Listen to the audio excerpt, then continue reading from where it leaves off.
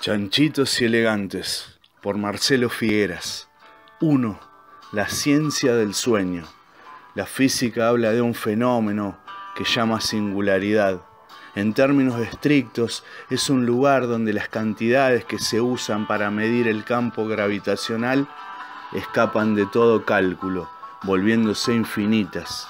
Puesto de otro modo, se le dice singularidad a un fenómeno que se produce a pesar de que su contexto impide preverlo.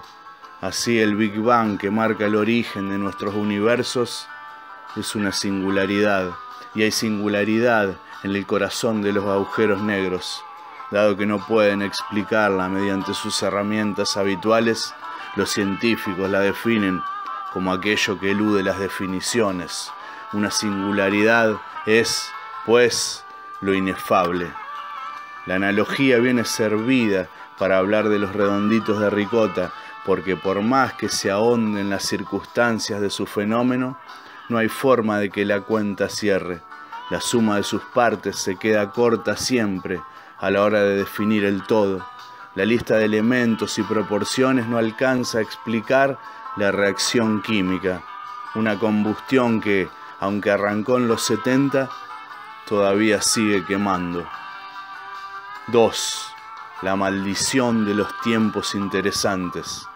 Los redonditos son, como todo el mundo, un producto de su cultura y de su tiempo, criollos de origen, cercana o remotamente europeo. El apellido Solari es italiano, Bailinson es judío y Castro, que así se llama la negra poli, es español que advinieron a la conciencia de sí en el país del primer gorilismo, de la Plaza de Mayo bombardeada y el peronismo proscripto, de la alternancia naturalizada entre dictaduras y gobiernos pseudodemocráticos, que crecieron en el marco de una cultura popular que confundía el arte con el show y el show con el casino, el tango de la siesta prepia soliana, el folclore de salón, la TV de los buenos modales y de los festivales de San Remo, cuando Latinoamérica no era sino aquello que quedaba siempre a nuestras espaldas.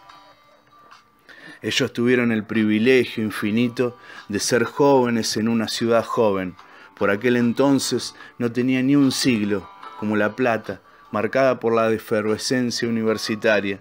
Allí estudiaron Ernesto Sábato, el Nobel de la Paz Adolfo Pérez Esquivel, Laura Carlotto, Néstor Kirchner y Cristina Fernández. Estos tres, estos tres últimos parte de la misma generación que Bailinson y compañía pero a diferencia de tantos de sus coetáneos que apostaron a cambiar el mundo mediante la acción política, los futuros redondos siguieron el ritmo de su propio tambor y se sustrajeron al arte de la militancia para entregarse a la militancia del arte.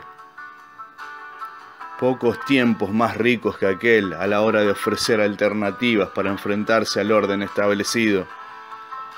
El ariete del rock, aquel fenómeno sociocultural, hijo de la posguerra y del baby boom, fue lo primero en golpear contra las puertas de la ciudadela conservadora, pero por las brechas que abrió se colaron las hordas más variadas, el arte joven de Warhol, Godard y Peter Brook, la multiculturalidad, los nuevos estilos de vida, la experimentación en materia de estados de conciencia, la ecología, las organizaciones que intervenían en la vida cotidiana de un modo político, mas no partidario. Sin embargo, de la mano del privilegio infinito llegaba el riesgo infinito, aquel peligro que entrañaba el simple hecho de ser joven en un mundo al mando de adoradores de Saturno, aquel dios que devoró a sus propios hijos y Goya inmortalizó en un cuadro que alimentaba mis pesadillas infantiles, porque una cosa eran las racias policiales, pero las amenazas y los crímenes de la triple A subieron el listón de la violencia y la dictadura que arrancó en 1976 significó lisa y llanamente la instalación de aquel horror al que Kurtz aludía sin saberlo al agonizar en Apocalipsis Now, porque ese régimen no se parecía en nada a los militares bajo cuya tutela Bailinson, Castro y Solari habían crecido, lo que va de la familia Falcón a la gavilla del Falcón Verde. Hay circunstancias históricas que moldean con delicadeza una brisa que despliega velas y nos lanza al buen rumbo. Hay otras, sin embargo, que proceden con la sutileza de un tifón. Esas son las que le tocaron en suerte a los redondos, aquellas que la tradicional maldición china describe como tiempos interesantes. Por eso su background explica tantas cosas, pero por supuesto no todas. 3. Tres de un par perfecto. Más allá del contexto, el talento individual y las sociedades creativas también jugaron su parte. Cuando salieron al ruedo, los redonditos de ricota apelaron a los modos propios de la época.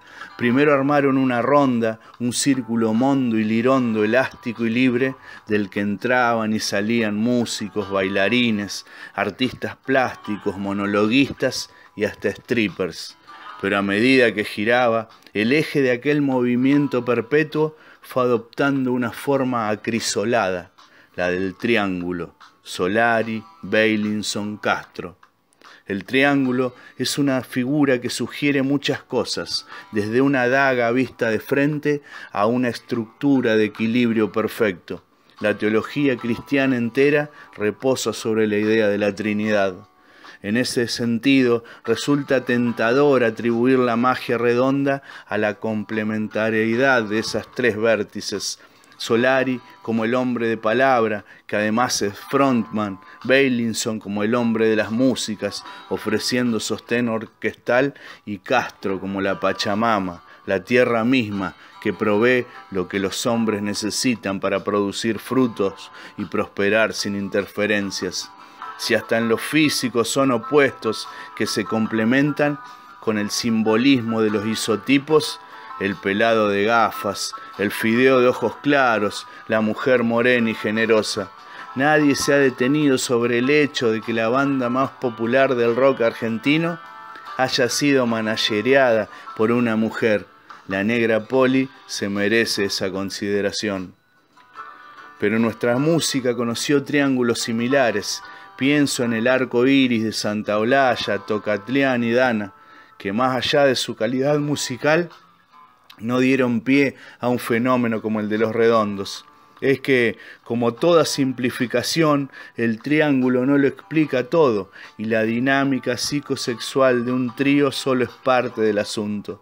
Solari componía músicas. Bailinson también pensaba y se expresaba en términos de logos. La imaginería que despliegan sus canciones solistas es elocuente al respecto, y Polly era algo bastante más complejo y rico que una manager. La obra de los redondos exhibió desde un comienzo los rasgos de la singularidad. Si uno echa una oída al rock argentino del período comprendido entre la mitad de los 70 y 1984, año de la grabación de Gulp, o sea, entre el Hiroshima de la dictadura y la tímida consolidación de la primera democracia, Post recibirá corrientes claras, tardíos experimentos en rock sinfónico, escarceos con el jazz, cancionero pop, primeras fintas en la arena de la New Wave, hard rock, folk rock, nueva trova rosarina. Sin embargo, las primeras canciones de Los Redondos no suenan a nada de eso.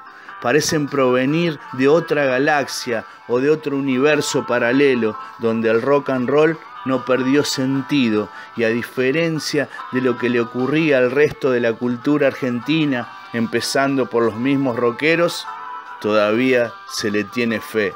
En consecuencia, no suenan, cerebrales, ni lánguidos, ni líricos, ni densos, ni cool, ni telúricos, ni modernos, ni tristes.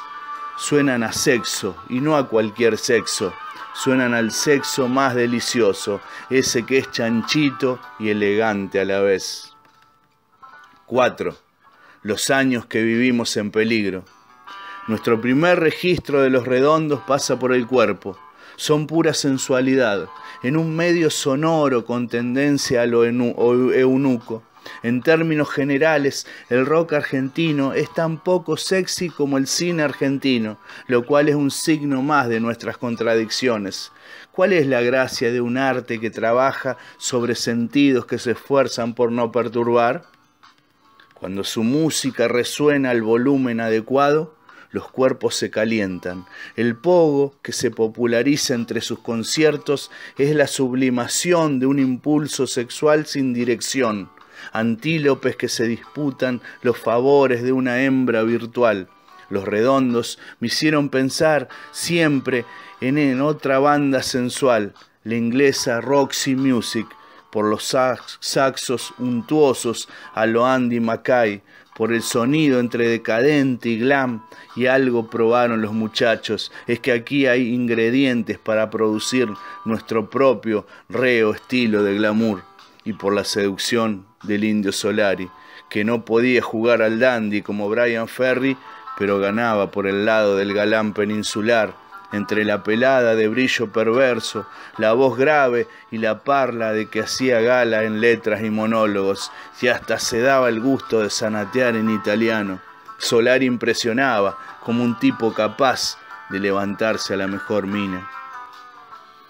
Producían una música festiva pero no pelotuda, algo quente hasta lo abrasador, que también en sus letras peinaba contrapela lanzadas a una guerra personal donde el cliché ponían los pilares para la construcción de un idioma secreto, donde hasta las cosas más comunes recibían un nombre nuevo.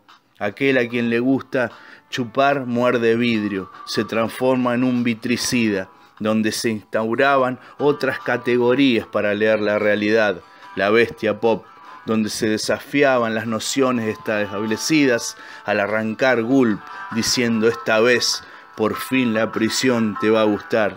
Se sugería que con democracia y todo, seguíamos sin ser libres, y donde se trabajaba sobre la ironía de una forma tan inusual que el malentendido se abrió paso y a brillar mi amor se convirtió en un eslogan.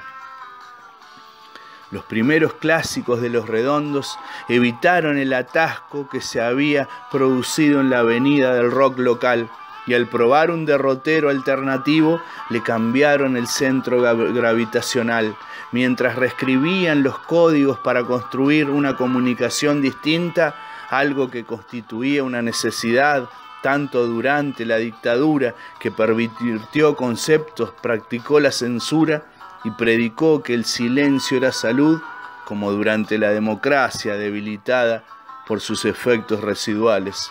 Arrancaron expresando un reclamo político en un sentido más amplio. Había que recuperar los cuerpos que aún eran recuperables para la vida, nuestros cuerpos, porque sin cuerpo no hay discurso posible. Si la dictadura no se contentó con amedrentar y amordazar, fue porque entendió que en los cuerpos y muy particularmente en los cuerpos jóvenes radicaba la mayor amenaza a su poder, porque todo aquel que se abriese a la búsqueda del placer, tal como lo manda la naturaleza, que nos empuja a saciarnos a la expansión, terminaría por cuestionar a un régimen que era esencialmente carcelario y por ende represor. De ahí la hazaña que los impulsó a coleccionar cuerpos jóvenes para después negarlos. El trío Solar y Bailinson Castro parece haber intuido ese dilema. El nombre de la banda ya era una apelación al placer, en este caso culinario. Todo el que se acerca a degustar redonditos de ricota quiere quedar pipón. El título de su debut discográfico era la onomatopeya de un ruido corporal, aquel que de la garganta al tragar violentamente. Las canciones hablaban de bebidas espirituosas, de drogas, de sexo. Te voy a atornillar no tenía por protagonista un carpintero. Por el contrario, ese tema era uno de los que establecía las reglas del juego más claramente. ¿Cómo puede ser que te alboroten mis placeres? Y la puesta en escena subrayaba esa orientación hacia la bacanal. Durante los inicios de los redondos surgieron otras bandas que invitaban a bailar, por ejemplo Virus y los Twists, pero la celebración que proponían los ricoteros era de otra índole. En sus conciertos nadie practicaba pasito, ibas allí a rozarte, a chocar, a sacar chispas, a quemarte de amor como correspondía a todo joven lobo que se preciase. No se trataba tan solo de volver a sentirte vivo después de la muerte en vida de la dictadura, se trataba de no olvidar el peligro que estar vivo entraña, siempre, a cada puto instante. 5. Creer o reventar. Con los cuerpos ya a salvo de los body snatcher militares, los redondos desovillaron su discurso. Aunque le hubiesen concebido como una obra instrumental, octubre de 1986 habría representado de todos modos una toma de posición. El título aludía al mes de las revoluciones, tanto la soviética como la peronista, los dos cucos más grandes del conservadurismo local, tanto en su versión nacional como liberal. El arte de tapa de rocambole, cuarta parte del trípode, estaba lleno de masas agitadas y banderas rojas.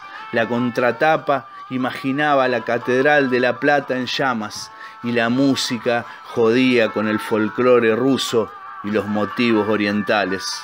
Las letras se apuraban a establecer que no se levantaba ningún estandarte de los convencionales. Si algo describía octubre era el estado calamitoso en que la dictadura nos había dejado. Estábamos sonados, atrapados en libertad, imbecilizados por la divina TV Führer.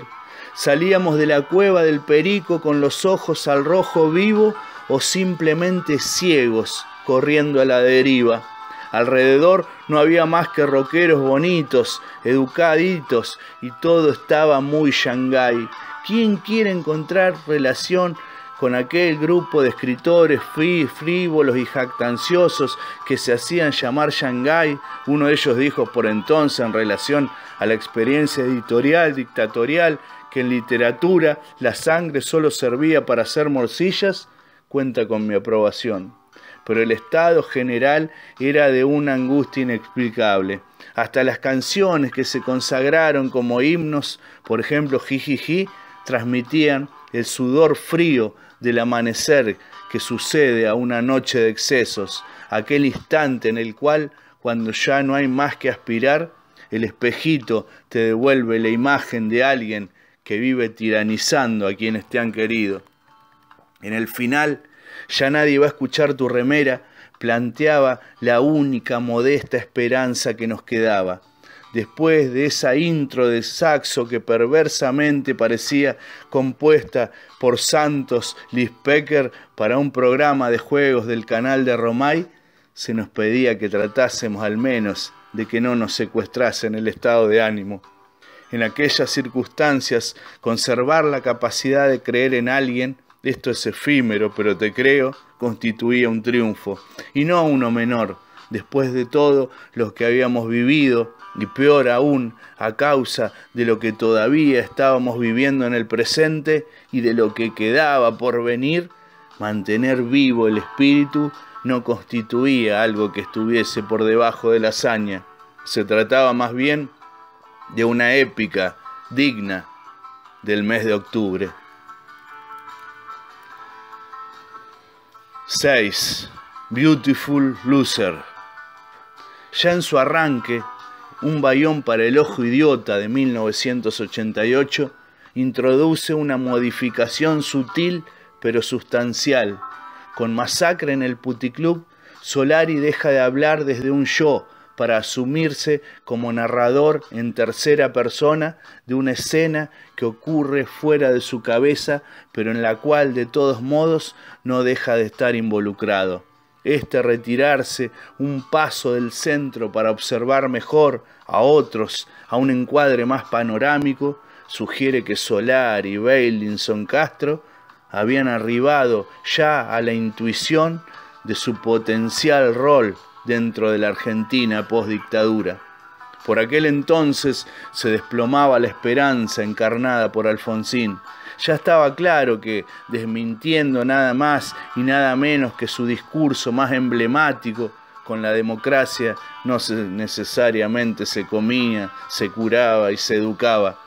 Dándole la espalda a sus votantes, Alfonsín había apostado a la negociación intramuros, a la politiquería, un lugar de la política, y terminó acorralado por el poder establecido, el FMI, la sociedad rural, los militares, los medios hegemónicos.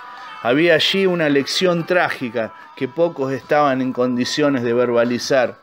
Cuando los temerosos políticos no trabajaban por la verdad y la justicia, la de tribunales, sí, pero también la social, haciéndose acompañar por la movilización popular, la democracia dejaba de ser the real thing para realizarse, resignarse a ser la farsa actual de la que hablaba, vencedores, vencidos. No es casualidad que un bayón abunde en músicas con aire de cabaret, dramatizan la sensación de que el país se había convertido en una joda. La banda misma había sufrido un sacudón cambiando su elenco de músicos, al tiempo que su popularidad crecía, impulsándola a presentarse en lugares cada vez más grandes. Así, mientras el liderazgo de Alfonsín flaqueaba, el pulso de los redondos respecto de sus seguidores, cada vez más numerosos, entusiastas e idiosincráticos, se afinaba hasta lo preclaro. Un bayón destaca como una inmejorable sucesión de hits, pero entre esas canciones hay algunas que son clave, en tanto terminan de definir los códigos de la relación entre los redondos, sus fans y el país que los contiene o sujeta. Empezando por todo preso es político que insiste en la idea de que vivimos en una prisión y propone un axioma. Si esta cárcel sigue así, todo preso es político. El clímax de la canción llega con un desafío. Deténganme, deténganlos, que apuesta a que no habrá nadie lo suficientemente guapo para recoger el guante. Vencedores vencidos establece las fuentes de las verdades que Solari difunde. La realidad no está en lo que dicen los medios que propalan noticias de ayer, sino en aquello que escribe en la pared la tribu de mi calle, la tribu de tu calle. Le sigue la arenga de Vamos las bandas, que parte de la pregunta sobre el valor de ciertos lugares sociales, vivir custodiado, ser la banda nueva, tener mocos super caros para llegar al estribillo artliano que alienta a las bandas a rajar del falso cielo. El cierre es todo un palo, el himno redondo por antonomasia, por la forma en que sintetiza gran cantidad de los ejes del fenómeno. La expresión del título ya es rica, de un modo que sintoniza con una de las constantes de la obra redonda, el trabajo sobre la ambigüedad, tensada hasta rozar la contradicción. Decir que algo es un palo es, en principio, un juicio positivo, que se apropia de una imagen negativa con connotaciones de violencia, ligar palos, pegarse un palo, que además tiene lecturas sexuales, por ejemplo, estar al palo, a la que se alude expresamente en los versos, algo me late y no es mi corazón, y también monetarias, un palo siempre fue un millón. La canción arranca con una formulación positiva en apariencia, el futuro llegó hace rato, todo un palo, ya lo ves. A continuación, Solari subraya esa intención de observar a través de un prisma distinto al que hasta entonces usaba. Veámoslo un poco con tus ojos, se propone, para reafirmar el futuro, el futuro ya llegó. La estrofa siguiente introduce el elemento negativo, o si prefieren, abandona la ironía para practicar el realismo. Yo voy en trenes, dice, lo cual puede y debe ser leído de forma literal, pero también como comentario al no voy en tren, voy en avión, popularizado por entonces por Charlie García, cuyo verso siguiente establecía, por cierto, no necesito a nadie, a nadie alrededor. Solari agrega, sin embargo, no tengo a dónde ir, y pega allí la alusión de la pulsión sexual. Algo me late y no es mi corazón, que también admite ser leída en clave premonitoria. Cuando algo te late es que tenés un pálpito, estás intuyendo o entreviendo una eventualidad. El futuro que viene, después del futuro, a pesar de que habla en primera persona, lo que Solari hace es expresar la circunstancia de parte de su público en apenas cuatro versos. Alguien que no puede permitirse medio de transporte más caro que el tren o el bondi, que está caliente, probablemente en más de un sentido, y que no tiene norte porque la sociedad le ha cerrado todos los accesos. A consecuencia de esa estrofa, la ironía del comienzo puede ser releída desde el realismo. Para esos chicos, presente y futuro son lo mismo, porque para ellos nada cambiará cuando llegue mañana. La tercera estrofa justifica esa sensación. ¿Cómo no sentirme así si ese perro sigue allí? Los perros, en efecto, no se habían alejado. El FMI, la oligarquía local, las fuerzas de seguridad represoras y los medios hegemónicos retrocedieron un paso con Alfonsín, pero tan solo para tomar envión. A esa altura no paraban de tirar tarascones y la pobreza que Alfonsín no logró contener ya había empezado a causar estragos. Las ironías de la historia, cuando Solari pregunta en el verso siguiente qué podría ser peor, seguramente no imaginaba lo que haría Menem cuando llegase al poder. La estrofa se completa con una frase de deliberada imprecisión. Eso no me arregla a mí, dice. Eso puede ser cualquier cosa y por ende puede serlo todo. Es una forma indirecta de sostener que nada me arreglará, que no hay arreglo a la vista, porque el futuro llegó, sí, Aquí Solari vuelve a interpelar a, la, su oyente, pero como vos no lo esperabas, es decir, como un sueño, no como un sueño, sino como pesadilla, lo que completa y resignifica la operación que todo un palo practica es la música, que te lleva al cielo verdadero, propulsada por un saxo más Roxy Music que nunca al sonar como suena, esa música dice lo que la letra calla, porque los versos expresan que en términos generales estamos fritos y la música agrega, pero estamos vivos y por más efímera que sea nuestra existencia, no hay perro que impida que aspiremos a nuestra cuota de gloria. En sus épicos siete minutos, todo un palo define para siempre a los fans de los redondos. Hablamos de los Beautiful Losers a los que Leonard Cohen consagró su segundo libro, de aquellos que se ven forzados a marchar por el bulevar de los sueños rotos, del que ya hablaba una canción de 1934. Muchachos y muchachas, tan bellos como jodidos por la sociedad, que sin embargo se resisten a darse por quebrados.